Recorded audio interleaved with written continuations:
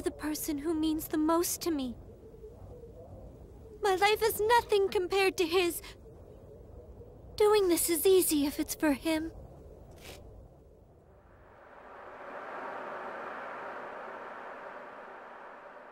Being sick sucks.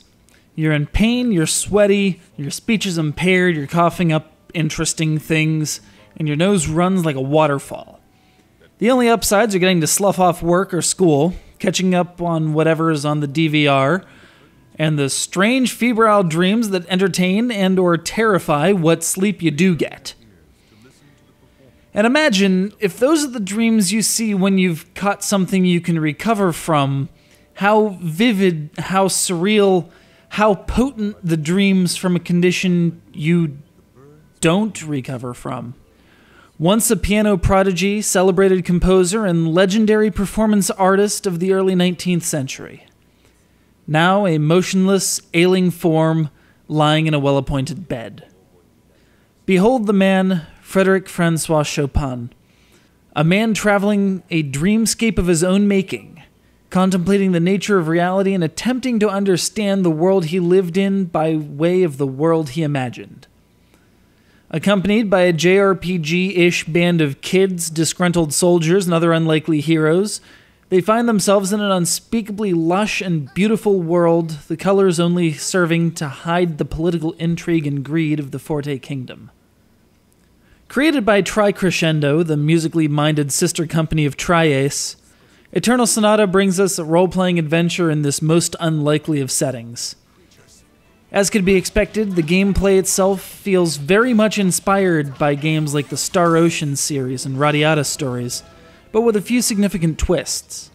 Light and shadow play important roles on the battlefield, with some foes changing forms depending on their brightness, some foes radiating light or anti light, and all of your party's special attacks depending on their current concealment.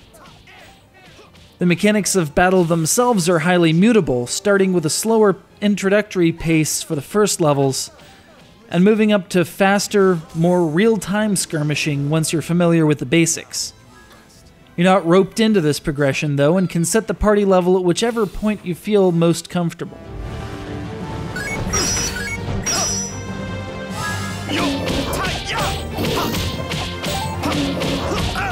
Between battles, you've got your standard RPG cruft, NPCs to interrogate, houses to loot, cinematic cutscenes to sit through, and man, are there.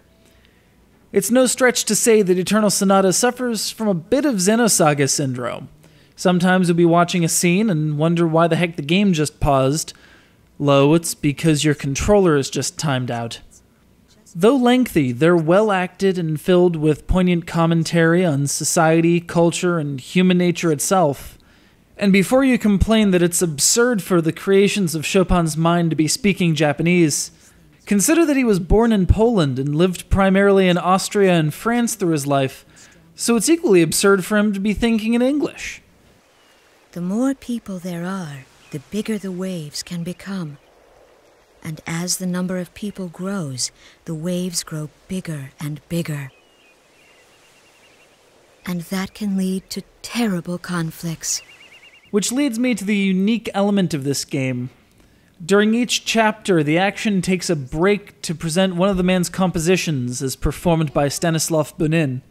This interlude is accompanied by a series of photographs, paintings, and landscapes associated with that period in Chopin's life, as well as some historical information regarding the piece and its significance.